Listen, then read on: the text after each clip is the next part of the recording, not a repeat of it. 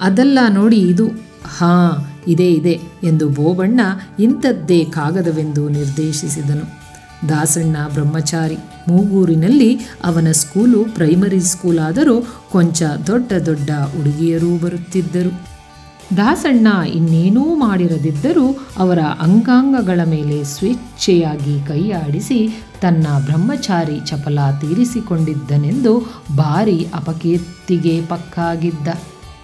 ಅವನು ನರಿಯ ಮುಸುಡಿ ಮಾಡಿಕೊಂಡು ಹೊರಟನೆಂದರೆ ಹೆಂಗಸರು ಎಲ್ಲ ಮೂಗು ಮುರಿಯುತ್ತಿದ್ದರು. ದಾಸಣ್ಣ ಕಾಗದ ಓದಿ, ಒಳ್ಳೆ ಲಾಯಕ್ಕಾಯ್ತು ಈ ಪದ್ಮಿದು ಎಂದು ಕಾಗದವನ್ನು ತಿರುಗಿ ಜಾಯಿಕಾಯಿ ಪೆಟ್ಟಿಗೆಯೊಳಗೆ ಹಾಕಿ ಬೋಬಣ್ಣನ ಹರಟೆ ಗೋಷ್ಠಿಯನ್ನು ಕೂಡಿಕೊಂಡನು. ಅಲ್ಲರ್ರೀ ದಾಸಣ್ಣ, ಮೂಗೂರಿನಲ್ಲಿ ಕಾಗದ ಬರೆಯೋದಕ್ಕೆ ನಿಮ್ಮನ್ನು ಬಿಟ್ಟರೆ ಇನ್ಯಾರಿದಾರ್ರೀ? ನೀವೇ ಬರೆದು ಗೊತ್ತಿಲ್ಲದಂತೆ ಆಡ್ತೀರಲ್ಲ ಬೋಬಣ್ಣ ಕೇಳಿದ. ಚೇಚೆ ನಾನು ಬರೆದರೆ ಇಲ್ಲೇ ಪೋಸ್ಟ್ ಮಾಡಬೇಕು ತಾನೇ? ನೀವೇ ಮೊನ್ನೆ ಊರಿಗೆ ಬಂದವರು ಇಲ್ಲಿಗೆ ಕಾಗದ ಹಾಕಬೇಕೆಂದು ಹೇಳಿದಿರಲ್ಲ, ಎಲ್ಲರಿಗೂ ನಾನು ಹೇಳಿದ್ದೀನಿ. ಇರಲಿ, ಕಾಗದ ತೆಗೆದುಕೊಂಡು ಟಸ್ಸೇ ನೋಡಿ ಎಲ್ಲಿಂದ ಬಂದಿದೆ ಅಂತ ಎಂದನು. ಬೋಬಣ್ಣನಿಗೆ ಈವರೆಗೂ ಅದು ಒಳೆದಿರಲಿಲ್ಲ. ಕೂಡಲೇ ಪೆಟ್ಟಿಗೆಯಿಂದ ಅದನ್ನು ತೆಗೆದುಕೊಂಡು ಎಲ್ಲಿಂದ ಬಂದುದೆಂದು ಪರೀಕ್ಷಿಸಿದನು. ಪೋಸ್ಟ್ ಆಫೀಸಿನ ಟಸ್ಸೆಯಲ್ಲಿ ದಿನಾಂಕವೊಂದನ್ನುಳಿದು ಇನ್ನೇನೂ ಗೋಚರವಾಗುತ್ತಿರಲಿಲ್ಲ. ಆ ಕಾಗದದ ಟಸ್ಸೆ ಪರೀಕ್ಷಿಸುವ ನೆವದಿಂದ ಇನ್ನೊಮ್ಮೆ ಗೋಷ್ಠಿಯ ಎಲ್ಲ ಸದಸ್ಯರು ಅದನ್ನು ಓದಿ ಸವಿದರು. ಅದರಲ್ಲಿ ಒಬ್ಬ ಸದಸ್ಯ, ಬೇಲಾಯದನ ಹೆಂಡತಿಗೆ ಏನೋ ಈ ಚಾಳಿ ಇದೆ. ಅದಕ್ಕೆ ಬೇಲಾಯದ ಅವನ ಹೆಂಡತಿ ಬಿಟ್ಟು ಇರುತ್ತಾನೆ ಎನ್ನುತ್ತಾರಪ್ಪ ಎಂದು ಒಣಗಿದನು. ದಾಸಣ್ಣ ಚೇಚೆ ಹೋಗ್ರಿ ಹೋಗ್ರಿ, ವಯಸ್ಸಾಗಿ ಜುಬ್ಬು ಹಿಡಿದ ಮುದುಕಿ, ಅದಕ್ಕೆ ಎಂಥ ಹುಮ್ಮಸ್ಸು ಇರ್ತದೆ? ಯಾರೂ ಒಪ್ಪೋ ಮಾತಲ್ಲ ಇದು ಎಂದ. ಅದಕ್ಕೆ ಮೊದಲಿನವನು, ಹ್ಞೂ ಹ್ಞೂ, ನಿನಗೆ ಗೊತ್ತಿಲ್ಲ, ಮುದುಕರಿಗೆ ಇರೋ ತೆವಲು ಎಂದು ಮುಸಿ ಮುಸಿ ನಕ್ಕನು. ಆ ಗುಂಪಿನಲ್ಲಿದ್ದ ಓರ್ವ ಕೊಂಚ ವಯಸ್ಸಾದ ವ್ಯಕ್ತಿ.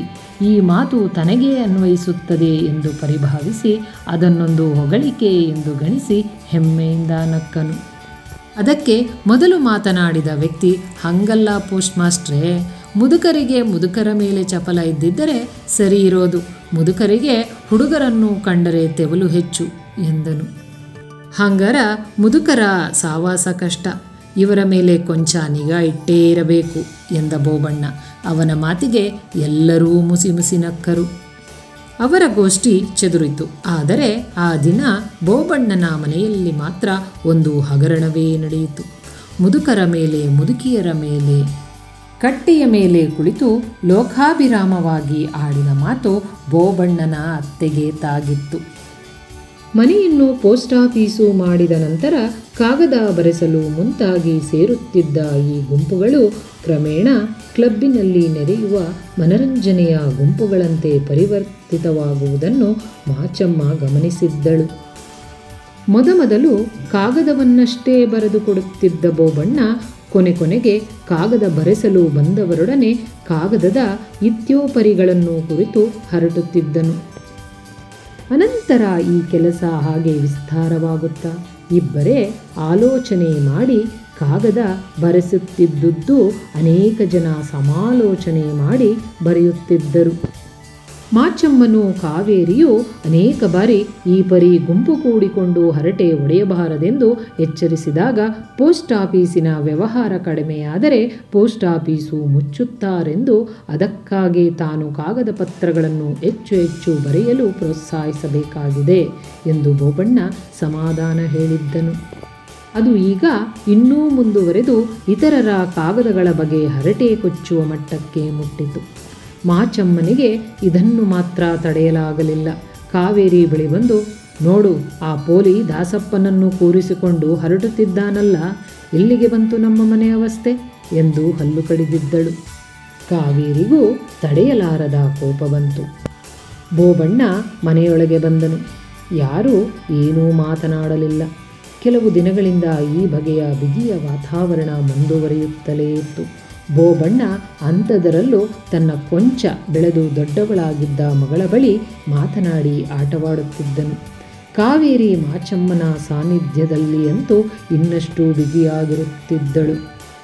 ತನ್ನ ತಾಯಿಯ ಪ್ರತ್ಯರ್ಥವಾಗಿ ಹೀಗಿದ್ದಾಳೆಂದು ತಿಳಿದಾಗ ಬೋಬಣ್ಣನಿಗೆ ವಿಪರೀತ ದುಃಖವಾಗುತ್ತಿದ್ದಿತು. ಬೋಬಣ್ಣ ಮನೆಯೊಳಗಿನ ಅಸಮಾಧಾನದ ವಾತಾವರಣವನ್ನೇನಾದರೂ ಕೊಂಚ ಕಡಿಮೆ ಮಾಡಲು ಯತ್ನಿಸಿದರೆ ಅದು ಇನ್ನಷ್ಟು ತೊಂದರೆಗೂ ಜಟಿಲತೆಗೂ ದಾರಿ ಮಾಡಿಕೊಡುತ್ತಿದ್ದಿತು. ಬೋಬಣ್ಣ ಮನೆಯೊಳಗೆ ಬಂದಾಗ ಎಲ್ಲರೂ ಅನ್ಯಾಸಕ್ತರಾಗಿ ತಮ್ಮ ತಮ್ಮ ಕೆಲಸ ತಾವು ಮಾಡಿಕೊಳ್ಳುತ್ತಾ ಮೌನವಾಗಿದ್ದರು. ಬೋಬಣ್ಣನ ಮಗಳು ಸೀತಾ ಬಂದು, ಅಣ್ಣ ಅಣ್ಣ, ನೋಡಿಲ್ಲಿ, ಎಂದು ಲಂಗ ಎತ್ತಿ ಪೋಸ್ಟ್ ಆಫೀಸಿನ ಟಸ್ಸೆಯನ್ನು ಹೊಟ್ಟೆಯ ಮೇಲೆ ಒತ್ತಿಕೊಂಡಿದ್ದನ್ನು ತೋರಿಸಿದಳು. ಅಯ್ಯೋ ಹುಡುಗಿ, ನೀನೂ ಪೋಸ್ಟ್ ಆಫೀಸಿನ ಕೆಲಸಕ್ಕೆ ಇಳಿದಿದ್ದೀಯೇನೆ ಎಂದು ಬೋಬಣ್ಣ ಅವಳನ್ನು ಕೇಳಿದನು. ಅಷ್ಟರಲ್ಲಿ ಮಾಚಮ್ಮ, ಹುಡುಗಿಯರು ಈ ರೀತಿ ಲಂಗ ಎತ್ತುವುದು ಅಸಭ್ಯವೆನ್ನುವಂತೆ ಥತ್ ಎಂದು ಅವಳ ಲಂಗ ಕೆಳಕ್ಕೆ ಜಾಡಿಸಿ ಕೊಡವಿದಳು. ಸಾಕು ಇಲ್ಲಿಗೆ ಕೆಲಸ ಎಂದು ಗುಣಗುತ್ತಾ ಒಳಗೆ ನಡೆದಳು.